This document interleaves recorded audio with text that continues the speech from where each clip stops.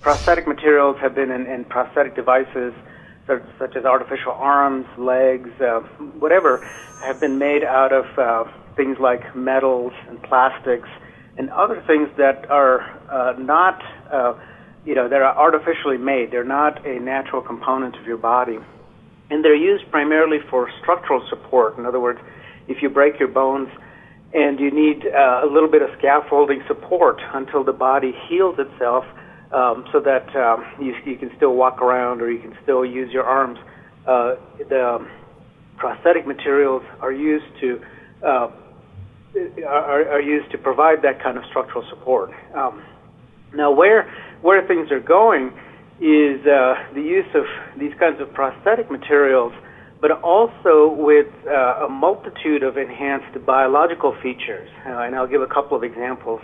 So you can have a plastic device that's put in your body, but the plastic itself is uh, is an active material. In other words, it, it responds to the local environment, it responds to the needs of the body, uh, and and uh, uh changes its structure uh, to uh, to best adapt to that to that local environment. So you can have prosthetic material that is used in orthopedic implants, say, to support a broken bone, but that material itself has properties. It may have embedded growth factors.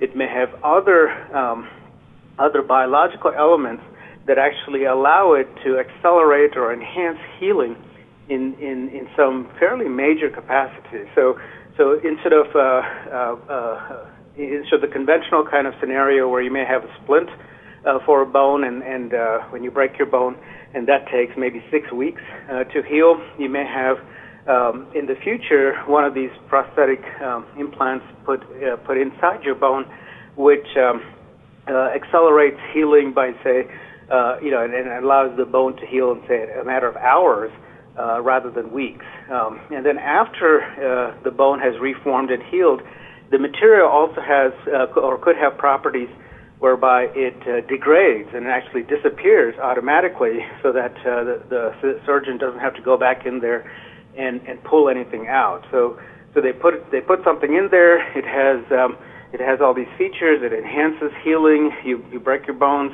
uh, you go into the hospital, perhaps you get this thing put in there um, in the morning, and then you come back in the in the evening, and your bones are actually all stitched together, and it's fine. So, so that's kind of where the field of uh, regenerative medicine is is moving uh, to really the blurring between the the artificial kinds of materials that are used and the biological materials.